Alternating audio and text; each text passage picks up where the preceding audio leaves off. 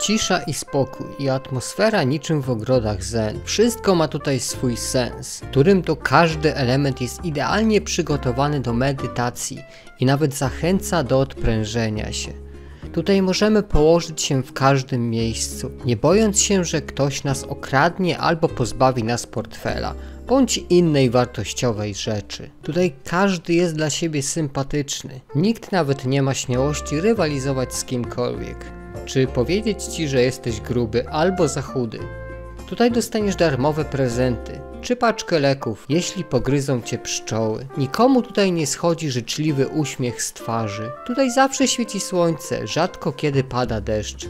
Chociaż parasolek mam już tyle, że to dla mnie nie problem. Większość z nich po prostu dostałem. Idealne społeczeństwo, które nigdy by nie miało prawa istnieć, a egzystuje już ładnych parę lat. Tak, panie i panowie, przyjrzyjmy się najnowszej odsłonie Animal Crossing New Horizon.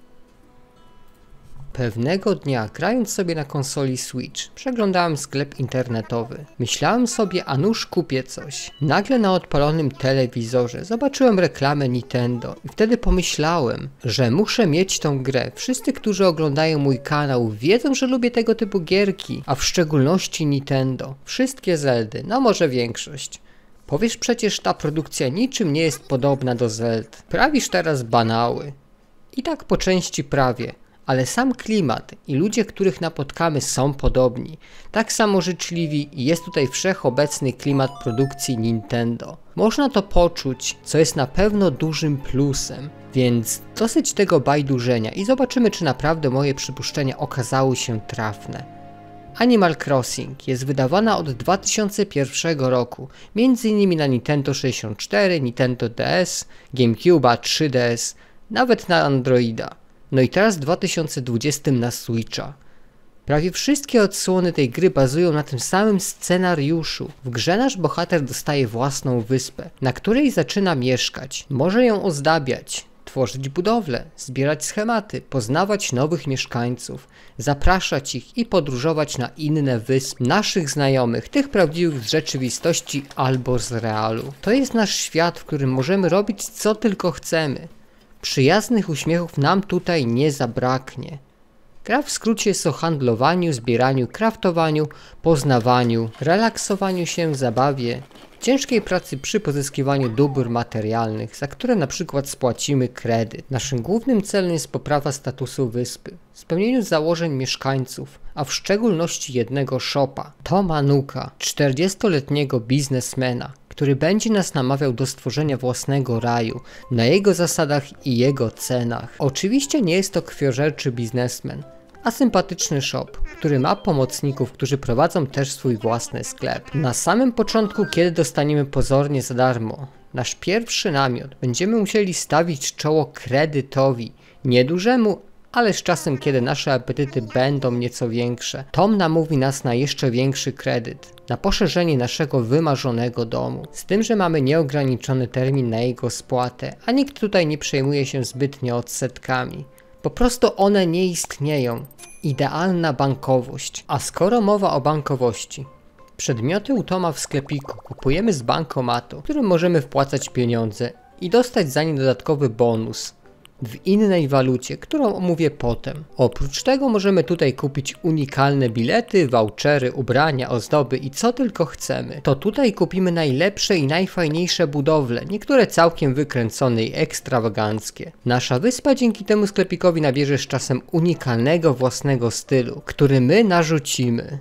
Oczywiście nie od razu dostaniemy wszystkie narzędzia i ulepszenia, czy wspaniałe dekoracje. Ten proces jest powolny, żebyśmy mieli po co grać.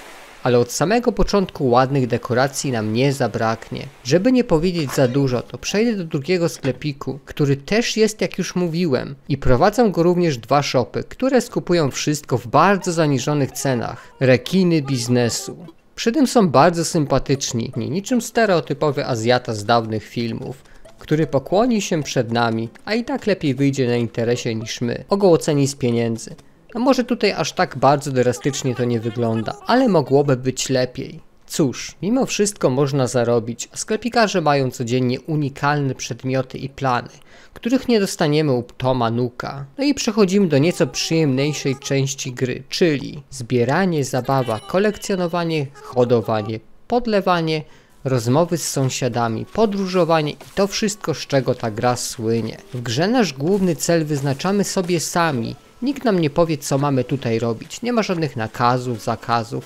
Możemy snuć się bez sensu po całej wiosce cały dzień, bądź spać na tapczanie przy dźwiękach bawiących się mieszkańców, bądź słuchając głosów natury. Nikt nam nie powie, że jesteśmy obibokiem leniem, bo wszyscy tutaj będą najczęściej robić to samo, po prostu odpoczywać. Czasami jednak ktoś posprząta swój kąt, bądź weźmie miotłę i zacznie sprzątać całą wyspę albo chociaż centrum. Zdarzy się, że ktoś nam podleje ogródek, od tak, bo kwiatki na nim rosną.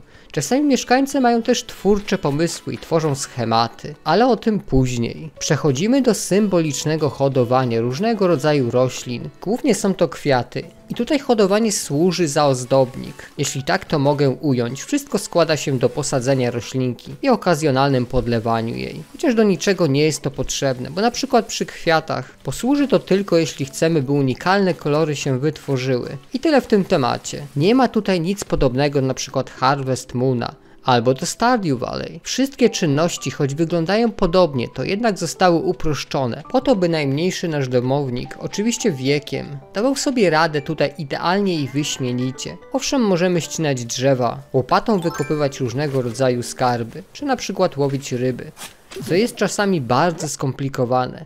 Kiedy łowiona ryba potrafi zmienić zdanie i po prostu mieć gdzieś naszą wędkę. Ale plusy są takie, że niepotrzebne są tutaj przynęty, chociaż umownie oczywiście są. Możemy tutaj również strzelać do balonów z prezentami, przeskakiwać z jednego brzegu na drugi za pomocą kija. No i to by było na tyle, jeśli chodzi o wszelakie sprawy związane z czynnościami. Aha, i nie wspomniałem jeszcze o najciekawszym, czyli o kraftowaniu przedmiotów. Możemy tworzyć różnego rodzaju narzędzia, ubrania, ozdoby, sprzęty domowe, co tylko zapragniemy. Oczywiście dzięki planom, których uczymy się w MIG. Plany możemy kupić, na przykład całe zestawy planów. Możemy też je odnaleźć na plaży. W butelkach, które przypłyną do nas przez morze. Również nasi sąsiedzi chętnie nam dadzą co jakiś czas jakiś ciekawy plan. Wszystkie plany będą miały, jak to zwyczajnie w każdej grze bywa, wymagania dotyczące materiałów, a te pozyskujemy w zwyczajny sposób po prostu wykopując je, ścinając drzewa, potrząsając je, grzebiąc w ziemi, czy po prostu handlując. Niestety nasza wyspa nie jest duża, więc będziemy mieli ograniczoną ilość surowców, co może na początku wydać się trochę niezbyt fajne.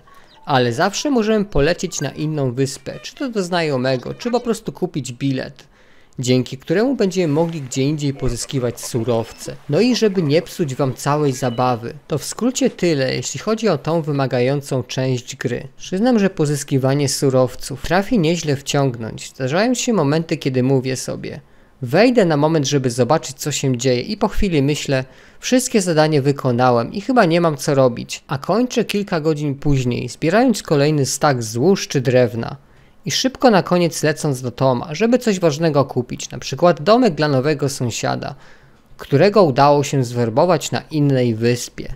Ale to nie jest oczywiście tak, że tutaj jeśli sami czegoś nie wymyślimy, nie będziemy mieli co robić. Tom daje nam główne questy, które wymagają sporo pracy i na początku potrafią zabrać nam masę godzin. Zresztą cały czas dostajemy sugestie na temat co mamy zrobić, by plan zarządcy wyspy był idealny i żeby mieszkańcy czuli się dobrze. Poza tym kolejną walutą oprócz umownych pieniędzy są mile które są nam przyznawane za proste czynności, na przykład za podlewanie kwiatów, za rozmowę, za wykonywanie zadań, za różne czynności. Za nie możemy wykupywać właśnie bilety na inne losowe wyspy i inne fantastyczne przedmioty. A nasi sąsiedzi to różnorakie osobowości, każdy o innym charakterze.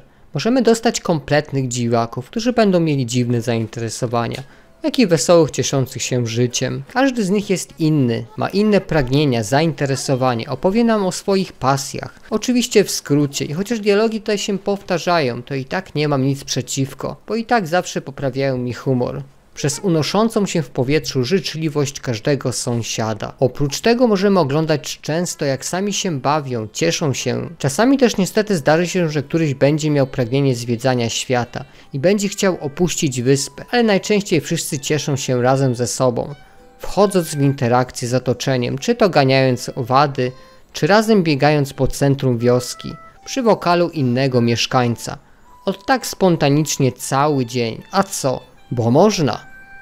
Nie wspomniałem na koniec, że tutaj również możemy wykopywać różnego rodzaju artefakty, które możemy zanosić do lokalnego muzeum. I co by tu jeszcze dodać? Może tyle, że gra dostosowuje się do naszej strefy czasowej i pór roku. Niestety jest to na pewno minus dla nocnych marków, bo na przykład o drugiej w nocy już wszyscy śpią, a nam pozostaje samotne ganianie po wyspie. No chyba, że mamy znajomych tych realnych, posiadających kopię gry. Ale niestety z nimi też za dużo nie porobimy, bo nie ma tutaj zbyt wielu możliwości interakcji, prócz odwiedzania się.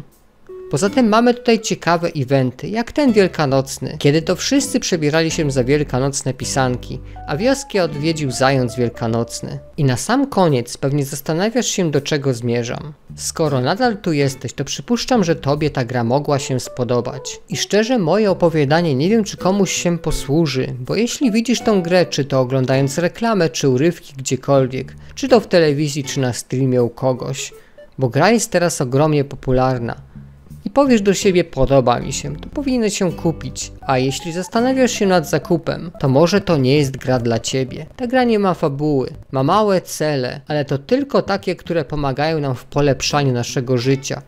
Nikt nas tutaj nie pogania, gra się nie kończy, nieważne co zrobimy. Tutaj nawet nie ma sensu zastanawiać się dlaczego warto grać i czy ta zawartość jest warta 200 zł.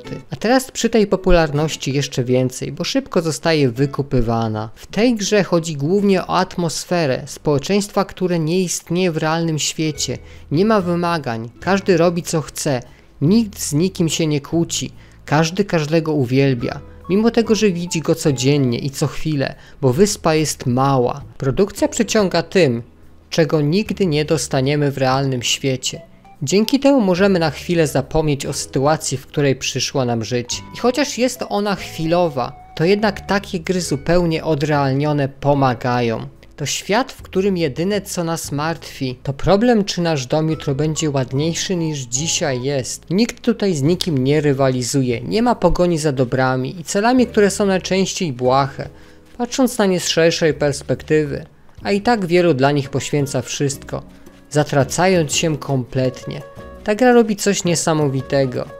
Wystarczy spojrzeć na listę tytułów pobranych na Switcha. Animal Crossing góruje na niej, dlatego bo potrafi pokazać nam i wydobyć coś, czego wszyscy się wstydzimy na co dzień. Czystą cząstkę bycia wewnętrznym dzieckiem. To jest gra dla dzieci, a gra w to masa dorosłych nie wstydząc się tego. Więc jeśli masz wolne 200 zł i podoba Ci się ta produkcja, to czemu by nie zaryzykować? Ale jeśli liczysz, że ona zastąpi Ci wszystko, co nazywałeś rozrywką, to chyba nie tędy droga. Ale jeśli jesteś zmęczony, chcesz na moment zapomnieć o całym świecie, to na pewno jest jakieś rozwiązanie. Można usiąść wygodnie na kanapie i bez wysiłku po prostu odpłynąć i robić coś popijając kawę albo ulubiony napój. Gra jest dobrym samouczkiem dla najmłodszych, uczy podstaw handlu, oszczędzania, spłaty zadłużeń czy obecności w społeczeństwie. Niestety ma wadę. Jedna kopia na jedną konsolę. Nie można tutaj zakładać wielu profili, ale zawsze można się dzielić konsolą, korzystając z jednego profilu.